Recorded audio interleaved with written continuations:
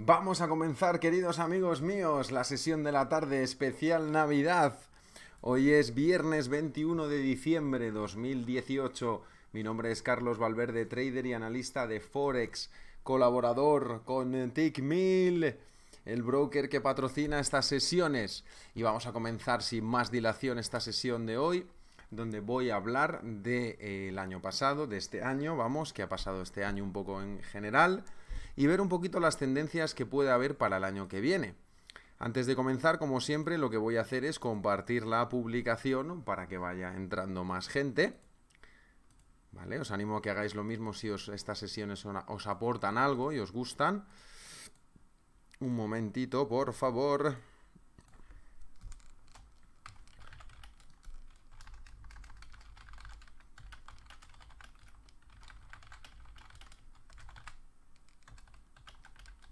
Directo.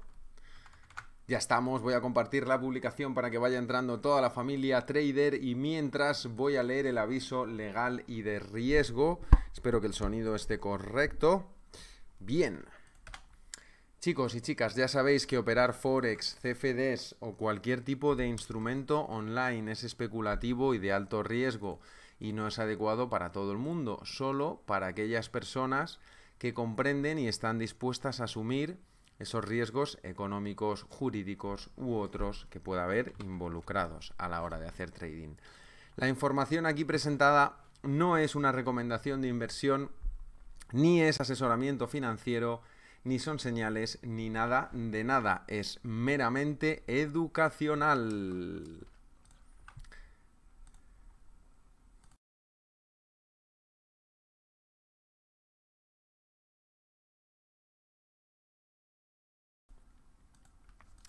¿Cómo estáis queridos amigos traders de todo el mundo? Bienvenidos y bien hallados a una sesión más especial de Navidad. La segunda que hacemos, el año pasado hicimos otra. Y bueno, voy a proceder a saludar a mi familia trader, Joel, Orlando, Juan, Oscar, Manuel. ¿Cómo estáis? Alberto, Luis, Joel, Iván, Hugo. Nos manda saludos desde México. Gracias, te los devuelvo desde España. Alberto, Alejandro, Marta, Freddy. Hombre, Freddy, ¿qué pasa? Hace mucho que no te veo por aquí. ¿Cómo estás, amigo? Espero que todo bien. Alejandro, buenas tardes. Freddy, Osmin, Fernando, Moisés. Larga vida y prosperidad, dice Miguel. Hola, Mariana. Hola, Moisés, César, etcétera. ¿Cómo estáis, queridos amigos? Espero que estéis muy bien. Vamos a hacer, esta va a ser la última sesión del año, ¿de acuerdo? Hasta el año que viene no habrá más sesiones. Vamos a disfrutarla. Nunca lo he dicho, pero prestar atención al aviso legal y de riesgo, meditarlo va muy bien. Es verdad, Freddy. Eh, es importante. Hay que pensar en eso. Hola Wilmer, César, Osmin, Alex, Adrián. Buenas tardes a todos. Bienvenidos, bien hallados. Vale, pues vamos a comenzar. Espero que estéis hayáis tenido una buena semana, un buen viernes. Y vamos a comenzar esta sesión anual Bien, ¿y con qué voy a comenzar? Pues obviamente voy a comenzar con el dólar index en gráfico mensual. el índice del dólar en gráfico mensual, aquí está. Me voy a hacer más pequeño, ¿vale? Luego nos despedimos y nos felicitamos la Navidad antes de irnos. Hola Joaquín, Mariana, Alex, etcétera, César. Hasta el año que viene ya no hay más, César, ¿vale? Hola Adri. Vamos a ver, el lunes es Navidad. El martes es Navidad, eh, o sea, vamos, lunes es Nochebuena, martes Navidad, 26, miércoles, jueves y viernes no hay casi nada, no hay acción. Ya, perdonar, nos veremos en enero. Freddy, dice Freddy, buenas tardes familia, les deseo felices fiestas anticipadamente al Fibo Team, al maestro Carlos, gracias Freddy, un abrazo. Diego, otro abrazo para ti también, bienvenidos. Pues lo primero que hay que ver un poco es este año que... cómo ha estado el tema, ¿no? Este año hemos tenido unas cuantas sorpresas. Espera un momento que esto está mal. Aquí. Este año hemos tenido unas cuantas sorpresas, la verdad. Em, se podría decir que ha empezado una nueva etapa, ¿no? Em, de subida de tipos a nivel global.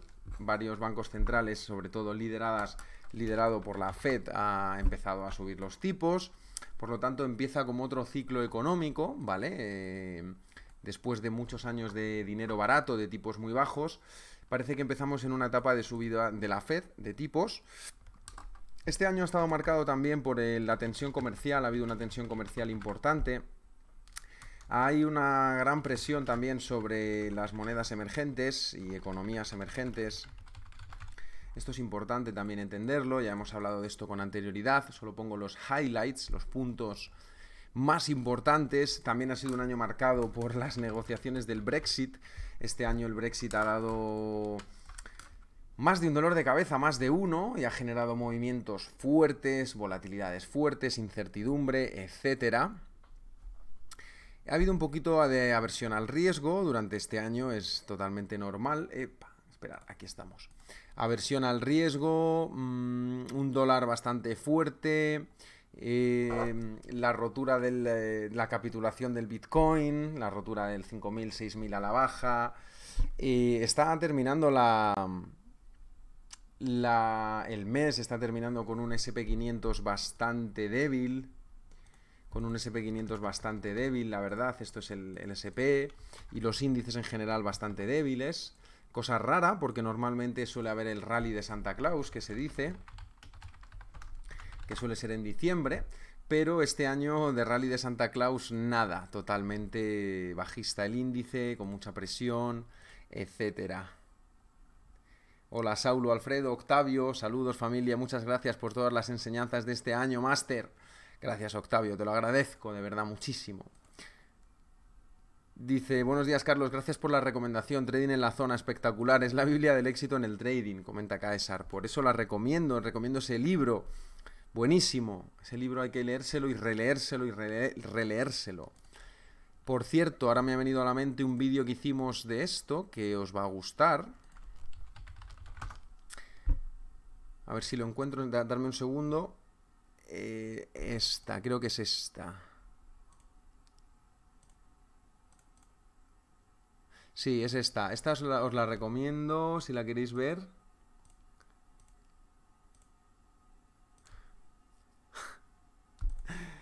Este, este ya es antiguo, hace 11 meses.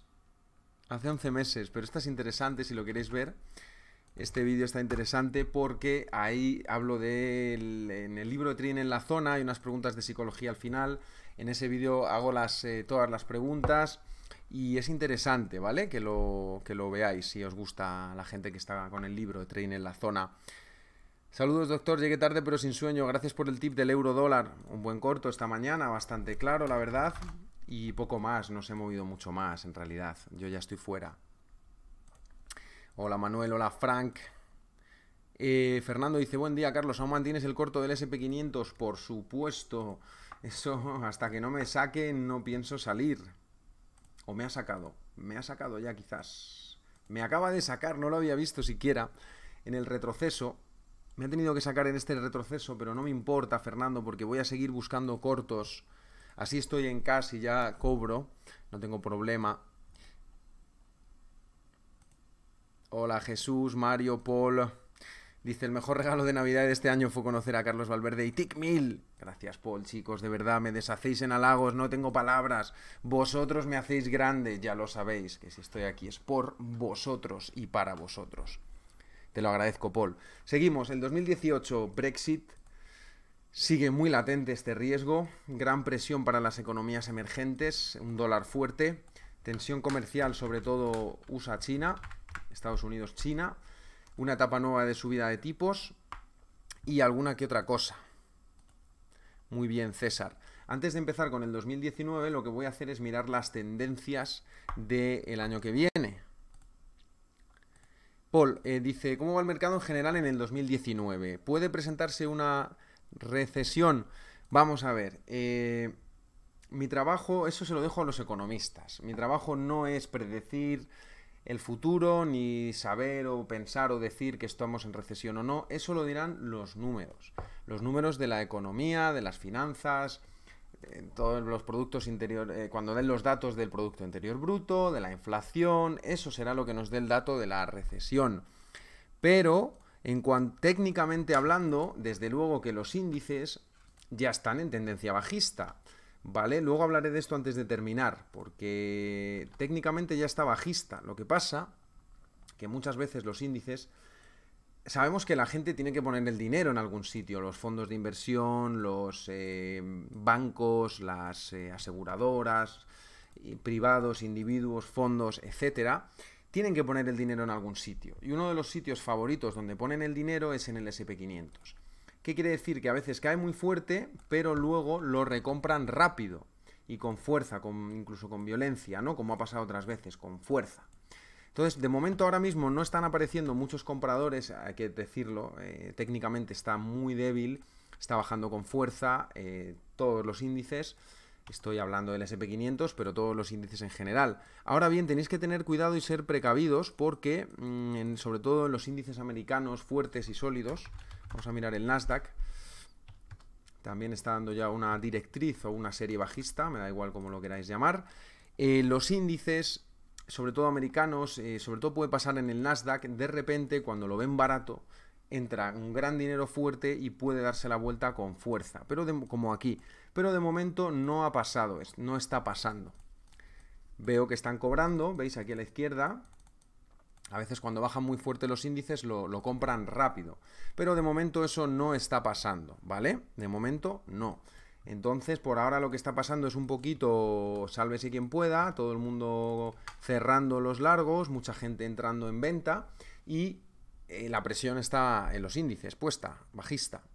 Miguel Ángel dice, ¿cuándo regresas, Carlos? Regresaré en enero, estaros atentos al calendario, ¿vale? Regresaré en enero, atentos al calendario. Hola Andrés, Mijail, me alegro de verte, amigo, bienvenido. Raúl, bienvenido. Gracias, Caesar, un verdadero placer, la familia crece, os lo agradezco.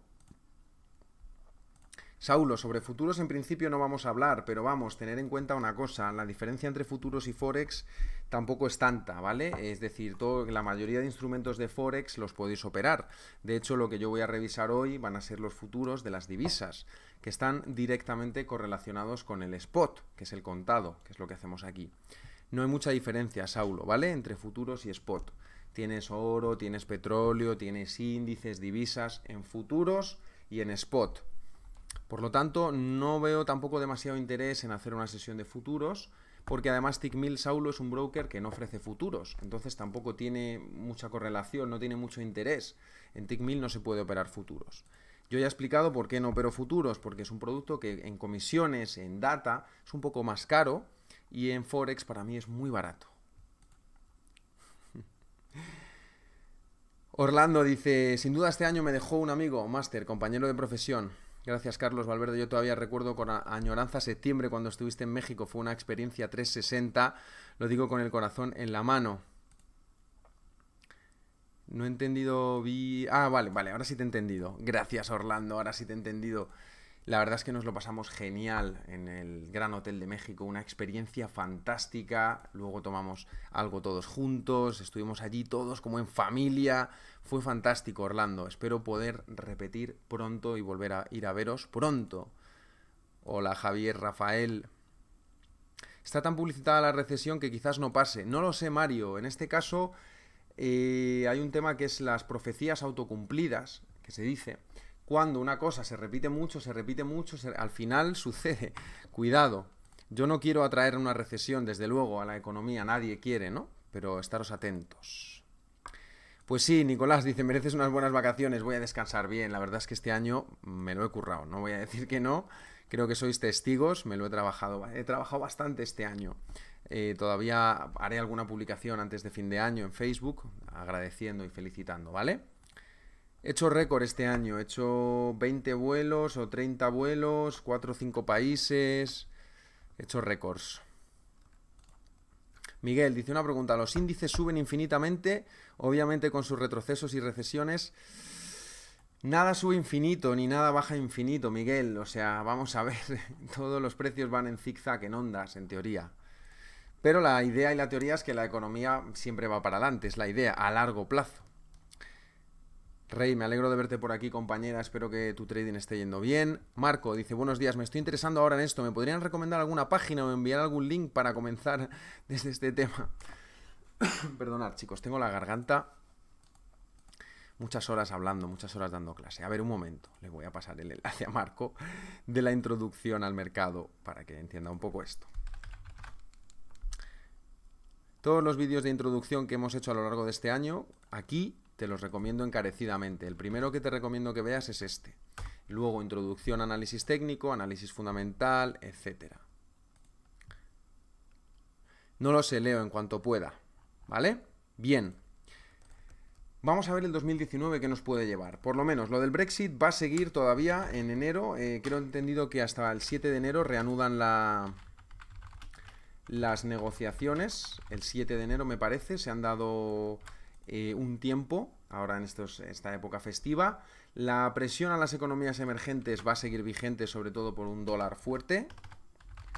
Y la tensión comercial entre Estados Unidos y China también por ahora está en, pausa, a ver si llegan a un acuerdo. Se han dado tres meses, 60 días me parece, o dos meses, para em, llegar a acuerdos y evitar ya eh, todo el tema de la tensión comercial que está habiendo y que nos afecta a todos en realidad.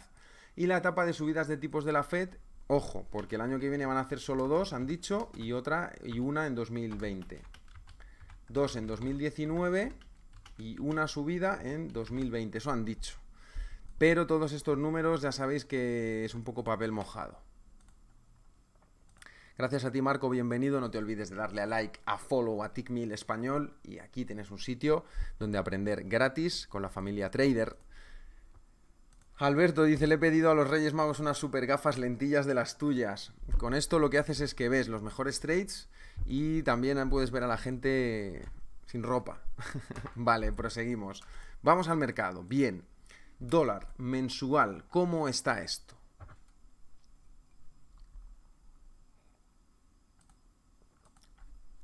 Vamos a analizar un poco, chicos, técnicamente. Índice del dólar. Gráfico mensual. Cada barra es un mes.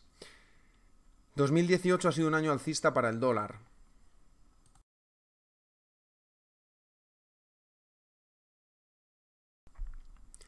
2018 ha sido un año alcista para el dólar, claramente. No ha llegado a tocar el 100, que es un nivel un poco esperado, que estamos todos ahí un poco esperando a que llegue el 100, es un nivel importante. Una resistencia muy fuerte que debéis de estar atentos, ¿vale? En el índice del dólar, dólar index. Lo podéis ver en TradingView o lo podéis ver en finbiz.com, futuros, currencies, monedas, y aquí tenéis todos los futuros de las principales monedas, ¿vale? Aquí también tenéis el mismo gráfico que estoy viendo en TradingView. ¿Vale? Entonces, eh, este año ha sido alcista para el dólar y según pinta todo, lo más probable es que siga alcista el año que viene. Es lo que pinta. La tendencia es de luego a largo plazo es alcista. Voy a tirar algún FIBO de muy, muy largo plazo para ver nuestras zonas de interés. ¿Vale? Y hay un par de zonas de interés aquí. A partir del 100 encaja perfecto y en el 89. Digamos que el dólar en mensual, mientras siga por encima del 89.90, seguiría alcista. ¿Vale? En mensual. Voy a bajar a semanal un momento. En semanal eh, está subiendo, pero está subiendo un poco más tranquilo el dólar, no está teniendo una no está teniendo una continuación como aquí a principios de año o en primavera, que estaba bastante más fuerte. El dólar en general tenía un impulso fuerte. Ahora está encontrando problemas de romper el 97. Está con problemas de un poco de velocidad, de momento, un poco sobrecomprado. Puede ser simplemente un take profit de los compradores, es decir, una parada para tomar beneficios. Y hay otra zona interesante en el 94. Estaros atentos a esa zona del 94 porque, opa, momento, que de repente se ha vuelto loco el Trading View. En esta zona del 94 hay un soporte interesante ahí, ¿vale? Estaros atentos, chicos y chicas, en el 94. Muy interesante esa zona. Para mí sigue alcista, incluso en semanal hasta que no caiga el 94 lo veo alcista. El dólar, ¿vale? Gracias Miguel, es un placer. está alcista el dólar, ¿vale? Yo voy a seguir a largo plazo, tengo la expectativa técnicamente hablando de que siga eh, fortaleciéndose el dólar, ¿vale? ¿Qué más niveles tengo de interés en el dólar index? El 96 y el 94, ya lo he dicho, 96, toda esta zona es zona de compra, de hecho está rebotando ahí perfecto el dólar hoy, lo habéis visto, está muy bien, esto que estoy haciendo en el dólar index lo podéis hacer vosotros para buscar zonas donde el dólar se puede poner muy fuerte y podéis comprarlo contra otros instrumentos en Forex, ¿vale? Es importante, estaros atentos al 96, ese nivel es muy fuerte también y por ahora estamos por encima, si ya cae puede tirar el 95, 94, pero de momento la tendencia sigue alcista. Muy atentos a la guerra comercial, la, tensión comercial entre Estados Unidos y China. También se han llegado a acuerdos con el NAFTA 2.0 entre México, Estados Unidos y Canadá, que eso es positivo, ¿vale? Para, sobre todo para el mercado de norteamericano, el mercado de aluminio, de metales, el mercado eh, de automóviles, todo eso es positivo, ¿vale? Del NAFTA 2.0 y poco más. Estados Unidos ahora mismo la economía está muy sana. El paro está en mínimos, los salarios suben, está bastante bien la economía americana ahora y probablemente siga líder el año que viene. En contrapartida, vamos a mirar a Europa en el E6, que es el futuro del euro. ¿Vale? Este es el E6, es el mismo gráfico que tenéis aquí en Finbiz. ¿Vale? El futuro del euro y voy a ir a mensual, como siempre. Cuanta más información tenga, mejor. Necesito ver el bosque entero, sobre todo en estas sesiones, ¿vale? Hay que ver el bosque entero y analizar lo máximo posible. Y voy a ir tirando mis fibos para sacar mis niveles. ¿Cómo se encuentra el euro en mensual? Desde luego que tiene tendencia bajista. Está claro, hay una línea de hecho muy fuerte ahí de tendencia bajista. Y ha bajado bastante, aunque empezó el año un poco alcista, sobre todo en enero, febrero, aguantó bien ahí el 1.25, pero eso es un nivel muy fuerte para el euro y complicado de romper, el 1.25, ¿vale? El 1.25 es un nivel bastante fuerte del euro, una resistencia muy fuerte que no es fácil de romper, de hecho tuvo problemas, estuvo ahí como tres meses casi, y al final ha bajado hasta el 1.1273, que también es un soporte bastante fuerte, esa zona, ¿vale? Estos son todo zonas, también hay que tenerlo en cuenta. Es una zona muy fuerte de soporte y resistencia. Entonces, bueno, estaros atentos. El 12.73, si cae en el euro, se podría poner bastante más débil y bajar a testear mínimos 1.07, 1.06. ¿Qué pasa? Que fundamentalmente Europa no está muy bien ahora. Italia, por ejemplo, tiene problemas con el tema de... Mm, aunque ahora ha habido un poquito de desahogo por parte de Italia y Europa porque han llegado a varios acuerdos eh, después de la coalición de Roma que han llamado. El gobierno ha reducido el déficit para el 2019 en un 2%, que está muy bien. El objetivo de déficit, que está bastante bien. Y el problema de Europa es que pesa mucho el Brexit eh, cada país tiene una situación económica diferente, no es lo mismo Alemania que Holanda, que Europa, que España, que Italia, que Portugal, ¿vale? Entonces eso hace que sea más complicado llevarlo, aunque sí que se han hecho avances en un fondo, ahora han estado hablando en la Unión Europea, en un fondo económico, una unión bancaria europea, incluso anticrisis un poco, eh, que lo quieren hacer ahora, en buenos momentos, antes de que haya una crisis como en el 2008, 2007, 2009 y tener protecciones y mecanismos de defensa ante eso. Querían levantar, no sé si eran 4.500 millones de euros, me parece, podéis mirarlo. Eh, Juncker y compañía de Europa querían levantar esto, pero hay algunos países que no están nada a favor de este tema y que están avanzando con lentitud porque hay ciertos países como Holanda, Noruega, Polonia, Dinamarca, etcétera, algunos, aunque Polonia, bueno, exactamente no está exactamente dentro de la Unión Europea, pero tiene mucho trading. Y eh, algunos países del norte no quieren eh, demasiado, no ven con buenos ojos eh, esta unión bancaria europea. A mí me parece una buena idea para evitar crisis futuras Vamos a ver qué pasa y cómo se desarrolla. Aunque lo más importante para Europa ahora es el tema del Brexit. Sacar este tema del Brexit y ya quitárselo de encima. En mensual el euro está bajista, ha cogido un poquito de soporte en el 12.73. Vamos a semanal. Como está en semanal hay un FIBO ahí bajista. Aquí no se ve tan claro, bueno, se, se ve igual de claro. El 1.15. Voy a poner el 1.15 en el futuro, ¿vale? El 1.15 está ahora mismo testeándolo. Es un nivel interesante en el euro, porque si lo rompe, podría darle algo de fuerza y podría recuperar un poco hasta el 1.17, 1.20, toda esta zona, pero en última instancia, mientras sigamos por debajo del 1.20, la tendencia sigue siendo bajista. Por lo tanto, favorece ventas. Incluso además, desde parte de Europa y el Banco Central, un euro un poquito flojo, un poquito débil, nos conviene. ¿Por qué? Porque nos hace más competitivos a la hora de exportar productos fuera, luchar contra China y otras economías emergentes como India, que está eh, apretando mucho y la India tiene eh, un recorrido de crecimiento teórico increíble. Os recomiendo este vídeo que hicimos, el último que hicimos en agosto, mm, de análisis de las economías emergentes. Este está muy bien, os lo recomiendo. Aquí reviso bastante las economías emergentes, echarle un vistazo, está en el chat cuando terminemos este vídeo. Hola Ronnie, bienvenidos, pura vida. Bienvenido Ronnie. Marcelina nos manda saludos desde Cuba, gracias. Gran país. Pura vida Ronnie y un abrazo Marcelina a toda la gente que nos ve desde Cuba. Luis pregunta sobre el comercio entre Rusia y China dejando de fuera el dólar para sus transacciones. El dólar todavía sigue siendo una moneda muy importante porque está denominada en muchos seguros, en muchos eh, fondos, en muchos bonos, en muchos productos financieros se usa el dólar, petróleo, el oro, se usa el dólar. Entonces no es tan fácil, eh, incluso entre Rusia y China van a hacer mucho trading en dólares.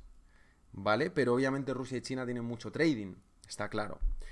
Lucky nos manda saludos desde Seattle. Gracias, Lucky. Un abrazo fuerte. ¿En qué condado está eso? Has puesto WA, pero... Ah, está en Washington, estoy yo bueno. Seattle, en Washington. Muy bien. Fantástica ciudad, muy bonita. Algún día tendré que visitarlo. Seattle. Un abrazo, Lucky. Saludos desde Ecuador, Cherokee, te los devuelvo desde España. Seguimos con el euro. Entonces, 1.15, gran resistencia. Si lo rompe, nos puede llevar al 17 y al 20. Mientras sigamos por debajo del 1.20, la tendencia para mí es bajista. Si ya rompe el 1.20 con fuerza, podría llevarnos hasta el 1.25. ¿Vale? Más arriba. Es muy bonita, sí. Tiene un skyline bastante bonito. Ahora lo que veo es que está haciendo un frío 3 grados. Vamos a proseguir. Gracias, Lucky. Un abrazo. Vamos a proseguir. Hemos visto el euro, el dólar y ahora vamos a ver el British Pound, el B6, el futuro del British Pound, la libra, el imperio británico.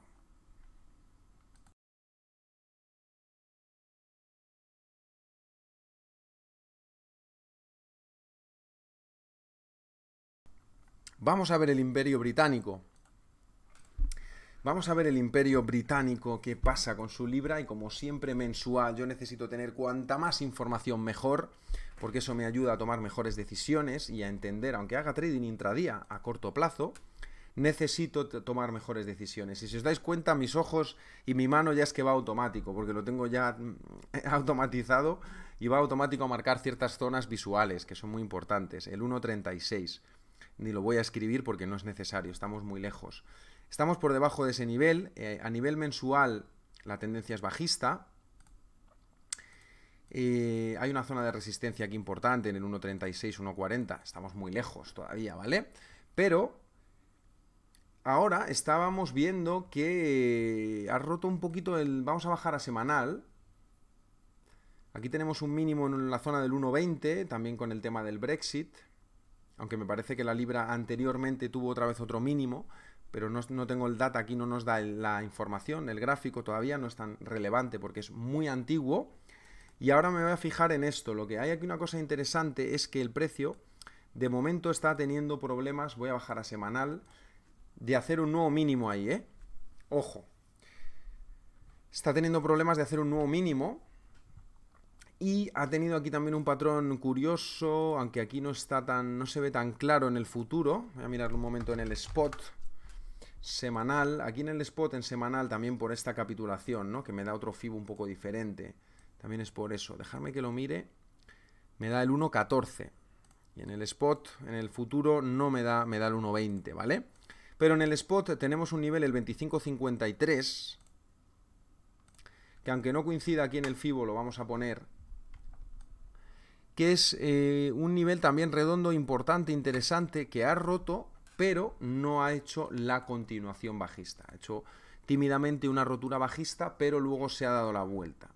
Aunque la tendencia es bajista y sigue habiendo mucha duda y mucha tensión con el tema del Brexit, si se llega a un buen acuerdo o políticamente empieza a cambiar la cosa, la libra se podría poner fuerte, ¿eh? Porque la economía inglesa, también como la americana, está en mínimos de paro, salarios aumentando. Buen... Hoy ha dado un dato de balanza comercial un poco negativo, más negativo de lo esperado, pero tiene una buena economía Reino Unido. Tiene una buena economía ahora mismo. Se ha hecho una subida de tipos, me parece este año cierto, y eh, quizás el año que viene vuelvan a subir también los tipos. Por cierto, se me ha olvidado decir también del euro que se supone que a partir del año que viene el Banco Central Europeo va a ir reduciendo el programa de compras cuantitativo, de flexibilización cuantitativa. ¿Qué es eso? Es el programa por el cual el Banco Central Europeo, para generar inflación, ha tenido los tipos en mínimo, en cero, el interbancario en negativo también, por si alguien lo quiere mirar, y ha estado imprimiendo 80.000 millones de euros al mes, el programa de compras, el LTRO se llama, lo podéis mirar en la página del Banco Central Europeo, ¿vale? Y eh, ese programa de compras consistía en darle a la manivela, imprimir euros y con esos euros comprar bonos de las economías europeas para tener eh, de los países, para tener más liquidez y generar inflación, una subida de precios. ¿Vale? Esto es Economía 101. Julius, bienvenido. Freddy, bienvenido. Paul, Rentador, Asdrúbal, welcome. Entonces, ¿qué pasa? Ahora vuelvo otra vez a la libra, ¿vale? Era simplemente esa anotación que eso puede poner fuerza alcista al euro el año que viene si el programa de compras cuantitativo va terminando en el euro, ¿vale? Estaros atentos con eso. Paul, no es el momento ahora. Te recomiendo que vayas a ver el vídeo de introducción a soporte y resistencia. Me pregunta, ¿cómo determinas tan fácil esos niveles? Como lo dices, es automático. ¿Tengo algún sistema? Sí. Los niveles tienen que ser muy rápido, tienen que ser visuales. Si no son visuales muy importantes, es decir, si yo traigo aquí a mi sobrino de 5 años o de 7, 5 a lo mejor es poco, a un niño de 8 o 9 años, que coja y diga, Carlos, ¿qué es eso? Y marque con el dedito, ¿qué es ese pico de ahí, ese nivel? que lo vea el niño y diga, eso se ve, está claro que hay un pico ahí, que hay algo, ¿vale? Ese es uno de mis primeros trucos para... Ese es el sistema, ese es el secreto, ¿vale? Que lo vea un niño de 5 años. Por favor, que alguien me traiga un niño de, de, 8 años o de... ¿Vale? Como el, típico chiste de los hermanos Mars que siempre hago. ¿Vale? Lo que quiero decir es que si no es visual, si tienes un problema para localizar un nivel, entonces ese nivel no es relevante. Fuera de bromas, es a lo que me refiero. Tiene que ser un nivel muy visual. Paul. Pero hay más cosas detrás, obviamente, ¿vale? Pero no voy a entrar aquí ahora en eso. En la libra, estamos viendo que el 25.55 está aguantando muy bien. Es una zona importante. Estaros atentos a ese nivel porque hasta que no salga el tema del Brexit no vamos a tener muy claro lo que va a pasar. Pero si se llega a un buen acuerdo, la libra podría recuperar con fuerza el 1.30 y romper esta zona de FIBO bajista.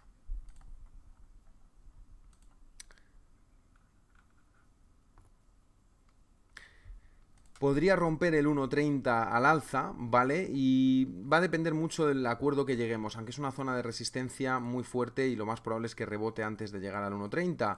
Pero la serie es bajista, vamos a ver qué hace. Hasta que no rompa el 1.32 al alza, con fuerza, en teoría sigue bajista. ¿Vale? Mucho, mucha atención al acuerdo del Brexit.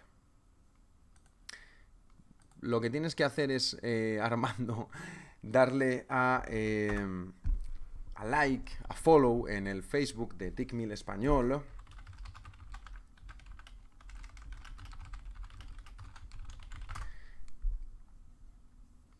Vale, y este vídeo pues también os lo recomiendo igual. Ahí lo tienes, Armando, en el chat. Lo puedes ver, introducción a soporte y resistencia, ¿vale? Ahí explico, para mí, la mejor herramienta en el trading, que es la línea horizontal. Esa es la mejor, para mí, el mejor indicador, sistema, herramienta, que es la línea horizontal. No hay discusión en eso, ¿vale? Ahí lo tienes en el YouTube, ¿vale? También lo tenéis en el canal de YouTube de TickMill. Cherokee, no te puedo ayudar ahora. Para eso vas a la página de TickMill y preguntas en el chat o envías un, un, email a soporte, ¿vale? Eso yo no te puedo ayudar a eso. Y además lo tienes la información en la página. Por favor, hacer preguntas relevantes al tema que nos, nos, eh, toca. ¿Vale? Te dejo el enlace Cherokee ahí. Abajo pone chatee con nosotros, le preguntas cualquier tipo de duda, que hay unas chicas encantadoras, también chicos, que ayudan a los clientes y a las dudas ¿Listo? Let's go. Todos esos vídeos para mí, el de introducción a soporte y resistencia, es fundamental. Vale, proseguimos. La libra, por lo tanto, atentos al Brexit. A ver qué pasa. De momento no está aguantando mal el 25.55. Vamos a ver qué pasa. Voy a ver otra vez mis monedas favoritas, que es el yen. ¿Dónde está el Japanese yen en futuros? El J6 en la CME, Chicago Mercantile Exchange, el futuro del yen japonés. Y lo vamos a ver en mensual, como siempre. Fijaros el yen después de la crisis, qué gran apreciación de la moneda de Japón, del yen japonés, ¿no? Cómo se apreció bastante después del, de la crisis, porque la economía en Japón está un poco como apartada de todo, va muy bien y después de la crisis entró mucho dinero. Eh, también es cierto que luego el reversal ha sido bastante fuerte, la vuelta en V. Y ahora estoy viendo un par de detalles aquí abajo. Primero, que está teniendo eh, mínimos ascendentes. Estoy en mensual, ¿eh? Mínimos ascendentes. La velocidad ha sido muy fuerte bajista en los años anteriores y ahora está empezando a comprimirse un poquito, ¿vale? Está empezando a comprimirse el yen, el precio del yen de esta manera aquí, haciendo un triángulo de compresión. Es decir, el precio se está aceptando en la zona del 0,90. 009, ¿vale? Se está aceptando, es un precio justo, una zona de valor, un point of control, como lo queráis llamar, ¿vale? Entonces, de momento, con esta presión bajista que viene, lo más lógico y lo más normal es que continúe bajista. Eso es lo más lógico y lo más normal. Por cierto, buen retest aquí del yen, ¿eh? Ojo. Lo más normal es que continúe bajista. Miguel dice, me pregunta, cuando la tendencia es bajista, ¿cómo determinas el cambio de tendencia? Como he dicho, no es el momento. Yo lo que miro son los máximos y los mínimos. Sigue con nosotros, estudia los vídeos y lo vas a aprender así, porque es muy fácil, en realidad. no es fácil, es sencillo, que no fácil. Simple. Bien, entonces, ¿qué pasa? Ahora el precio se está comprimiendo en el dólar yen. El gobierno de Japón y Kuroda, el gobernador del Banco Central de Japón, está comentando que van a seguir con tipos ultra bajos, tipos de interés incluso en negativo, y que van a seguir con una política de monetaria eh, expansiva. Los tipos de interés del yen están a negativo, tienes dinero en el banco, pagas. Menos 0.1. ¿Vale? Es muy poco, pero está en negativo. ¿Qué quiere decir? Que eh, Japón se está eh, tiene un problema deflacionario. Lo que quiere es generar inflación. Y todavía no lo consigue. Y lo más probable. perdonar. lo más probable es que continúe. Si no débil, por lo menos tampoco tenga mucha fuerza el yen a nivel mensual. Vamos a bajar a semanal. Voy a limpiar un poco el gráfico. Y vamos a analizar aquí en qué momento para mí empezaría a ser una tendencia alcista. Yo ahora mismo estoy neutral el yen. En semanal, por ejemplo, empieza a estar un poquito fuerte. Y desde luego esta semana ha sido bastante interesante para el yen, ha dado unos trades muy buenos y está empezando a tener un poquito de presión alcista. Miguel, es que si me pongo a explicarte esto ahora, lo siento compañeros, se me va la hora, ya llevo 40 minutos. Vale, entonces, una de las cosas que miro, Miguel, para que lo sepas también, es la rotura de niveles importantes. Miro la serie de máximos y mínimos y miro la rotura de niveles importantes. En este caso, el 092, 093. Es el 00093, ¿vale? Pero voy a poner 093 para que se entienda en el futuro del yen, ¿vale? Si el yen japonés rompe aquí al alza ese nivel, la tendencia ya sería alcista con una confirmación extra en el 96, ¿vale? Que es el máximo anterior. De momento, a Japón le interesa un yen débil y tampoco creo que vayan a dejarlo porque el Banco de Japón, el Banco Central, suele ser muy agresivo cuando tiene que intervenir. Y de momento no creo que lo dejen subir demasiado quizás, ¿eh? Entonces, bueno, atención cuando lleguemos a estas zonas porque el yen puede caer bastante fuerte desde, desde ahí, ¿vale? Y el yen genera tendencias y movimientos muy fuertes, interesantes. ¿Vale? Estaros atentos. De momento, dentro de lo que es las principales eh, monedas eh, de las principales economías, el yen va a seguir en la cola, va a ser de los últimos en subir tipos de interés, en parar de imprimir yenes y comprar bonos y tal, van a ser de los últimos, siempre. Probablemente hasta que no cambie y empiecen a tener inflación. Raúl, Carlos, en el triángulo será que está haciendo una onda 1 a 5. Yo no hago análisis de ondas, Raúl, ¿vale? Por lo tanto, no voy a entrar en ese tema. No hago análisis de ondas. No lo hago, porque no me parece práctico. Si a vos le funciona, entonces, adelante. Vamos a continuar. Dos monedas interesantes, pero voy a mirar el canadiense antes de nada. Dejarme un momento. A ver, lo tengo aquí.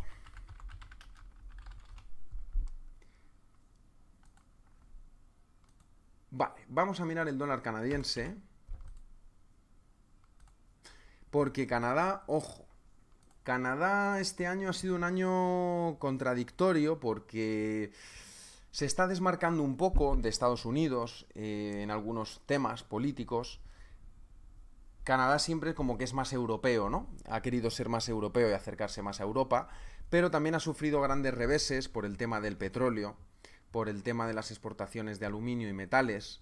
Eh, eso ha quitado bastante ingreso a Canadá y así como otras economías Estados Unidos, México o otras economías, Reino Unido, va muy bien. La economía canadiense ha tenido noticias tanto buenas como malas. Y los tipos todavía siguen un poquito... Bueno, están a 1,75, que no está mal, pero no está teniendo lo que es la moneda una continuación al alza muy fuerte. Ya ha roto aquí alguna línea de tendencia alcista, en teoría, y está un poquito débil.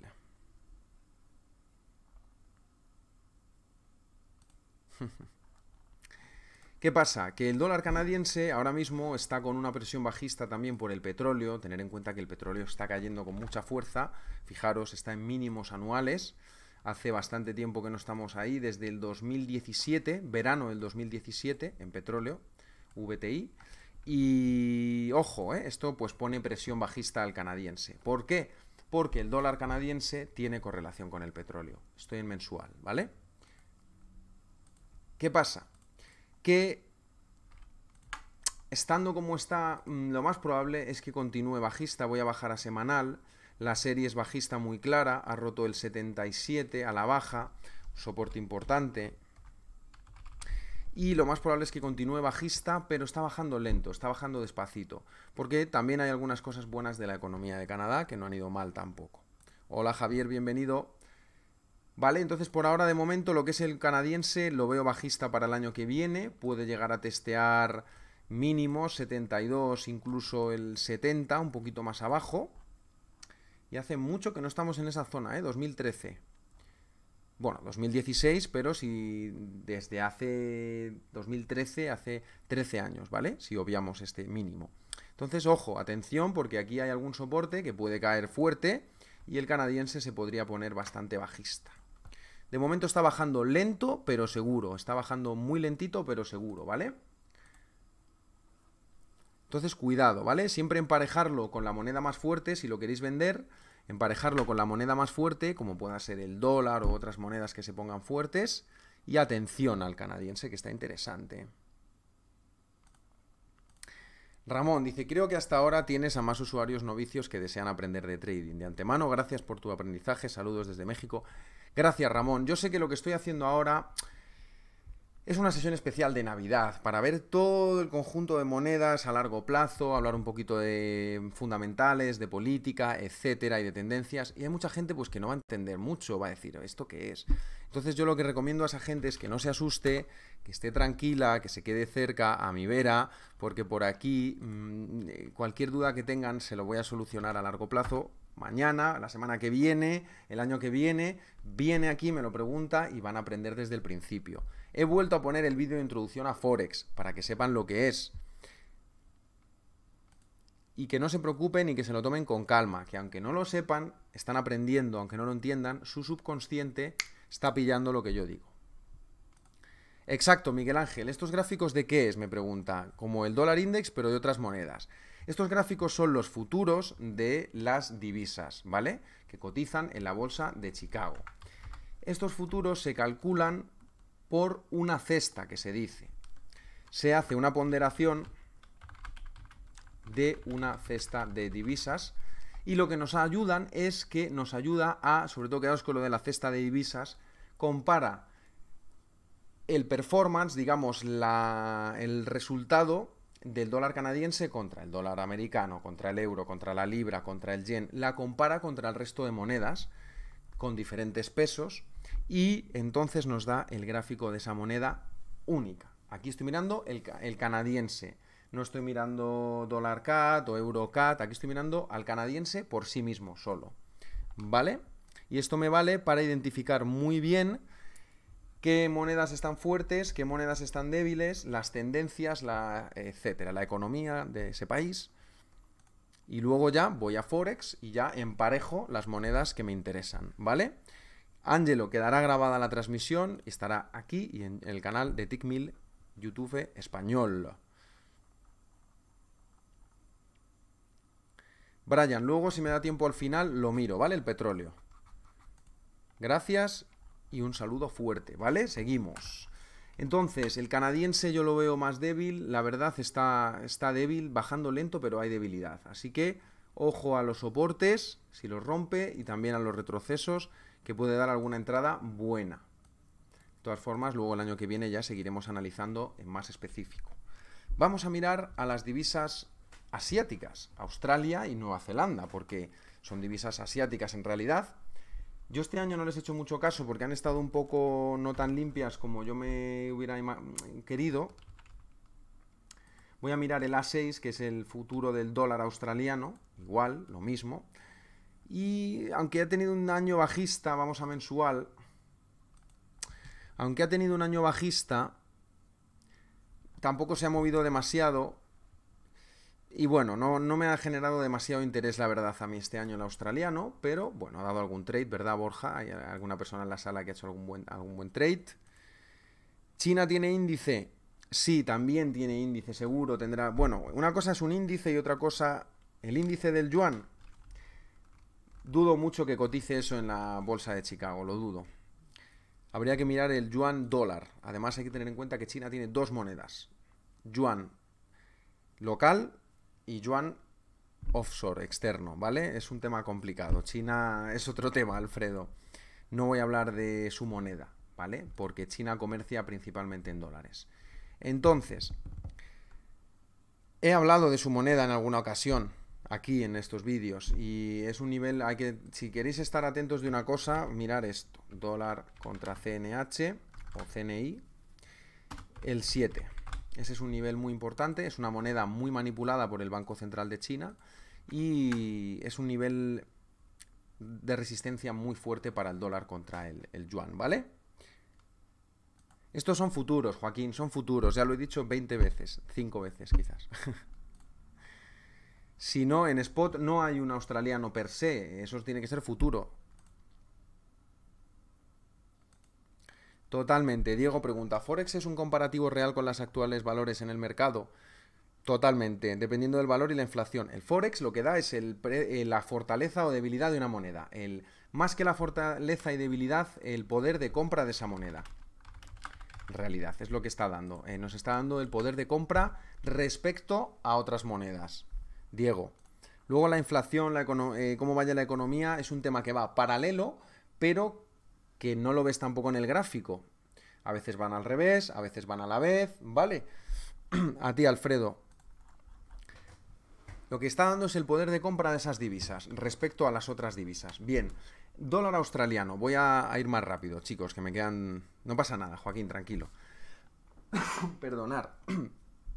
Tengo la garganta increíble. Un poquito de, de miel.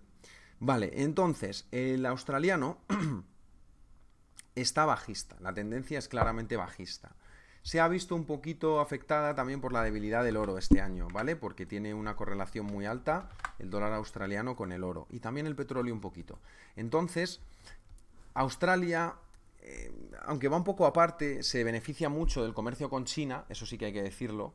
La economía australiana no va tan mal, en realidad, pero eh, de hecho tiene los tipos de interés a 1.5, que está bien, pero... Em, el tema de la presión del oro, el tema de las guerras comerciales, todo esto pues está afectando, ha afectado negativamente al australiano que está bajista y se está acercando a un soporte importante en el futuro que es el 0,69.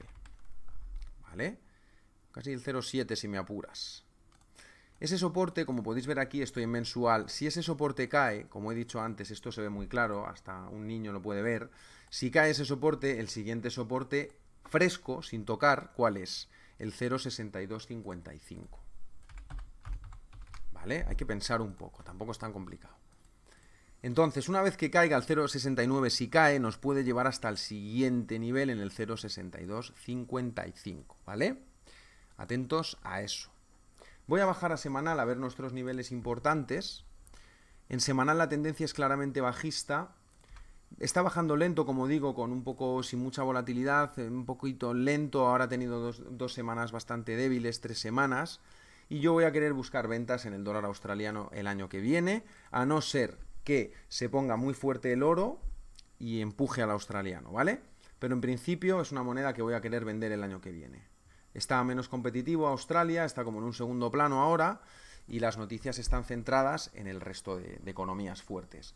Y pasa un poco lo mismo con el neozelandés. Quizás esté un poquito más fuerte el kiwi, que se llama, el kiwi... Fijaros que no está tan débil, aquí se ve muy claro, yo lo tengo ya subconscientemente de verlo todos los días. No está tan débil como el dólar eh, australiano, por lo tanto va a ser mi segunda opción a la hora de vender si quiero vender algo de, de Asia una moneda asiática, el kiwi, el neozelandés, sería mi segunda opción. ¿Vale? El dólar neozelandés, el kiwi, que es un pájaro, ¿vale? Bien. ¿Qué pasa? Hay un soporte, una resistencia, perdón, importante, que es el 0,6850. Estamos por debajo. Parece que va a continuar el precio por debajo de esa zona. Voy a bajar a semanal. Voy a buscar algún nivel interesante en el neozelandés. Toda esta zona es de resistencia, se está alejando. Soporte fuerte en el 63. Si cae el 0,66, ojo, se puede poner también muy débil y testear mínimos. ¿Vale? Bien. En resumen, para el año que viene, 2019, para el 2019 lo que se espera probablemente es una continuación de la subida de tipos de las economías líderes, eh, Estados Unidos, probablemente la libra también, y Europa también una reducción, no tanto subida de tipos, aunque a lo mejor hacen una, eh, no tanto subida de tipos, sino en Europa de tener un poquito, parar el programa de compras de cuantitativo, el quantitative easing. ¿vale? Si estáis pensando en compraros una casa o una hipoteca, ahora los tipos en Europa están muy bajos, ya que estamos lo digo, y es recomendable el tipo fijo, la verdad. Si lo veis una oportunidad, lo digo porque cuando suban los tipos, pues será más caro el préstamo y el banco cobrará más. Miguel ahora de repente acaba de ver la luz, dice, oye, tienes una buena página en Facebook, Team 1000, veo que sí, que voy a aprender mucho con esta página tuya. ¿Y sabes cuánto te va a costar? Lo mejor de todo es que te va a costar cero cero patatero. Te va a costar, es absolutamente gratis, querido amigo. Te va a costar cero euros. Es gratis, pero eso no significa que no tenga valor. Así que valóralo, ¿vale? Porque hay un esfuerzo detrás, ¿vale? Para todo esto, Miguel. Y si te gusta, le das a like, te suscribes, lo compartes, operas con TIC1000, etcétera. Si quieres. Si no, yo voy a ser feliz igualmente. Y aquí estoy para ayudar, para enseñar y para compartir el conocimiento. Para eso estoy, Miguel. Freddy dice un añito ya de la mano de Tito Charlie y los que faltan. ¿Para cuándo sesión de Cerves? Que Kiko Manu y yo tenemos ganas de subir a Madrid a verte. El año que viene, chicos, también os, cuento. Bueno, primero voy a terminar, perdonar, porque me estoy distrayendo, ya estoy cansado, es viernes. Em, el año que viene, continuación de subidas de tipos. Un dólar que probablemente esté bastante. se mantenga con fuerza. La libra, ojo con la libra, ¿eh? El Brexit, hay que buscar una resolución para el Brexit importante. El 29 de marzo es la fecha límite. Estaros atentos. ¿Qué más tenemos? El final del quantitative easing, como he dicho, de Europa. Eh, por parte del ECB. Esto es importante también. Puede poner un poquito de presión alcista en el euro. Y esto quizás no sea tan bueno, no, no sea lo que quiere el Banco Central. ¿Qué más podemos tener para el año que viene? También a ver si se resuelve el tema de mm, se llegan a acuerdos fronterizos, eh, el tema de la recesión, a ver qué pasa, el tema geopolítico está un poquito caliente, Rusia, Ucrania, China, Estados Unidos, esperemos que no escale y no vaya más. Brian, no me da tiempo, lo siento compañero, lo he mirado esta mañana de todas formas. Si quieres lo hago rápidamente el crudo, venga, que estamos en Navidad. El crudo para mí está en tendencia bajista. Va, no le puedo decir que no está en tendencia bajista. Ya está, solo tienes que tirar una línea, simplemente, sencillo. Mientras siga por debajo del 46.57, para mí está en venta. No voy a comprarlo a no ser que rompa ese nivel al alza. Brian. No querría comprarlo, ¿vale? Ya está. Siguiente soporte en la zona del 42. Siguiente resistencia, la zona del 50. Ya está hecho. Venta o nada, desde mi punto de vista, ¿vale? Brian, ya lo tienes. Por supuesto, que quieres un poco más de detalle y de finura, pues a ver, aquí en el 50 resistencia, 48-50 resistencia, hay mucha resistencia en el petróleo. Está bajista, solo voy a buscar compras si rompe el 46-57. ¿Vale? de todas formas, lo puedes ver en el Café y Mercados de hoy y la semana, el año que viene estaré aquí con vosotros. Eh, como digo, ¿Qué más tenemos para el año que viene? También la presión del, petróleo. Es cierto que la presión en el petróleo, en el crudo y las economías emergentes es importante estar atentos de eso. Tema geopolítico, cuidado. Europa también pasa por un test de realidad. Un test de, oye, de identidad. ¿Qué vamos a hacer? ¿Qué pasa con Europa? ¿Hacia dónde vamos? ¿Qué está pasando con Europa? ¿No? ¿Vale? Y después también, ya que estamos, pues desvelo alguna de las cosas para el año que viene que haré aquí con vosotros. Voy a hacer webinarios avanzados, pero no quiero decir nada. También haré webinarios eh, para iniciar, ¿vale? Repetiré de nivel mm, básico también.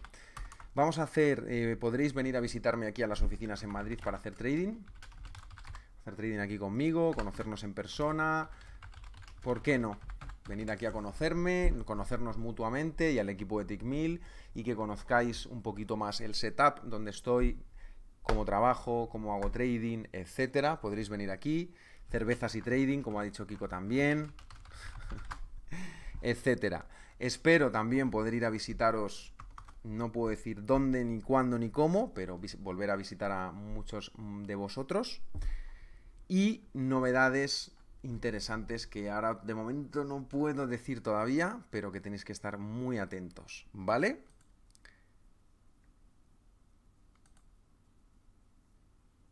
Bienvenido, Miguel, es un placer.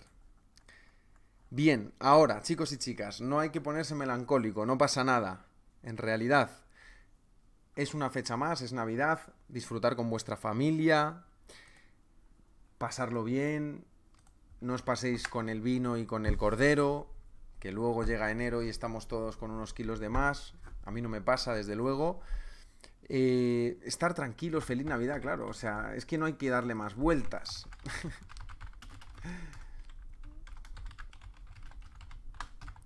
Próspero 2019 a todos, ¿vale? Y el año que viene más. Este año ha sido un año magnífico, fantástico. Yo estoy súper feliz de este proyecto, de haberos conocido a todos, muchos de vosotros en persona, de haber eh, tenido la oportunidad de viajar, de veros a vosotros, de hacer seminarios, eventos.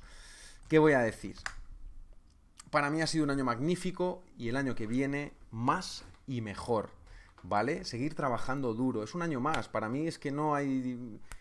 Vale, es uno más que te pones encima, que es experiencia, que eso no se compra ni con cursos ni con indicadores. La experiencia se tiene que ganar día a día, pasito a pasito. No hay otra manera, chicos. Disciplina, paciencia, trabajo duro, esfuerzo. El trading no es magia, ¿vale? No es una cosa que hagas así, tin, y ya de repente hay que trabajar, hay que estudiar, ¿vale? Y simplemente desearos de parte mía y de todo el equipo de TICMIL una feliz Navidad y muy próspero 2019. El año que viene va a ser un año fantástico. Estoy seguro. Si este año ha sido bueno, el año que viene va a ser todavía mucho mejor. ¿Y qué os voy a decir, chicos? Que ha sido un verdadero placer estar aquí con vosotros este año y por muchos, muchos años más de buen trading.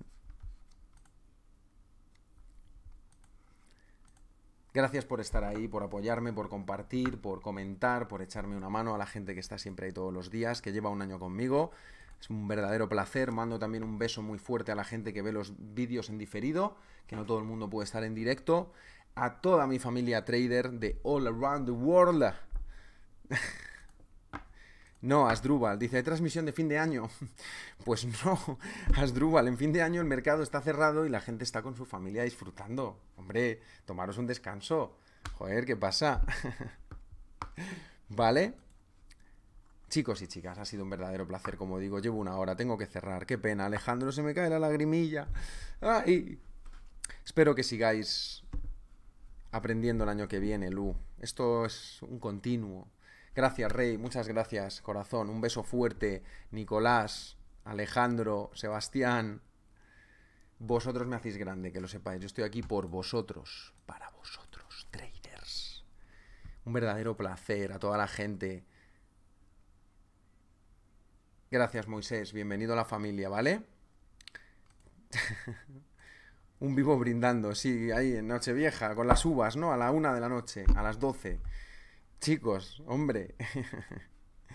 hay que desconectar, hay que saber desconectar. Hay un tiempo para todo. Hay un tiempo para el trading, un tiempo para las vacaciones, ¿vale? Estaros atentos al calendario. Chicos, os voy a dejar. Ha sido un verdadero placer. Este año ha sido espectacular y el año que viene más todavía, más y mejor aquí con la familia Trader, Tito Charlie y por supuesto Tickmill. Por supuesto, no os olvidéis. Chicos, nos vemos en un par de semanas probablemente. Estaros atentos al calendario. En nada nos vemos. Estaré por aquí.